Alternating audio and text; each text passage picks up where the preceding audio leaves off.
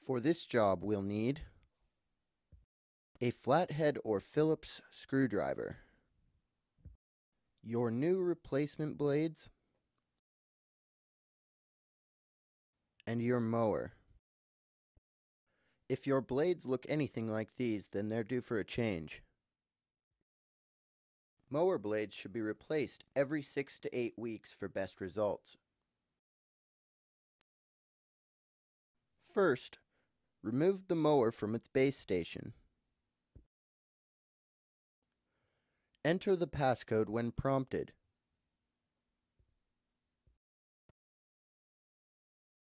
Flip over your mower and turn the power switch to the off position.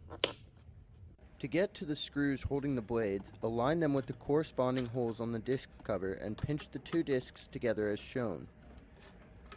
Unscrew the screw holding the blade in, being careful to catch the blade if it falls out.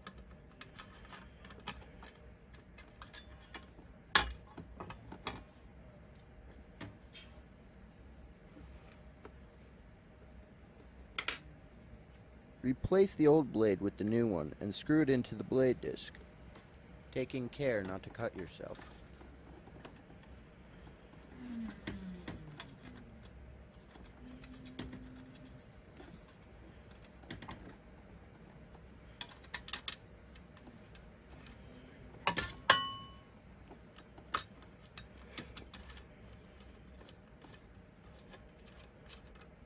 Repeat these steps for the next two blades.